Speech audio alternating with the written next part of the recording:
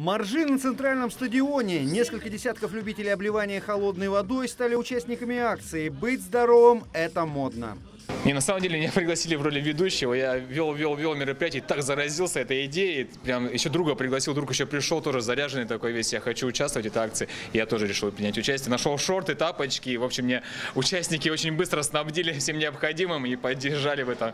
Роман Новицкий попал в число моржей спонтанно. Большинство же любителей обливания имеет стаж общения с холодной водой. Минус 10 на улице – это не предел для подготовленного организма. Минус 40. Минус 40 это где было? В Улан-Удэ. Да? Да. То есть это одно ведро, два ведра? Два ведра. Два ведра воды. Все а потом- верно.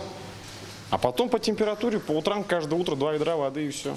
Без всяких проблем. Мы всегда готовы в течение 20 лет. Регулярное обливание, купание в снегу, купание в крещенские морозы. Более 30 мужчин и лишь 4 женщины решили принять участие в акции. Самые опытные, закаленные из представительниц прекрасной половины исполнилось 72. Самой юной моржихе 9 лет. Я люблю экстрим. Понимаете? Вот ставлю перед собой цель, хочу это сделать и делаю. Ну, это дает здоровье, здоровье. Еще человек меньше болеет.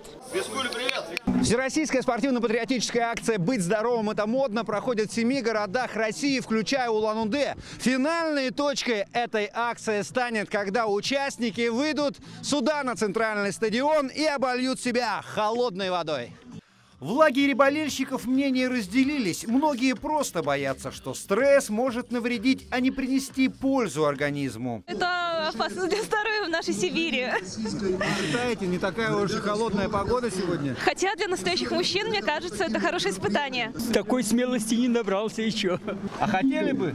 Да, очень.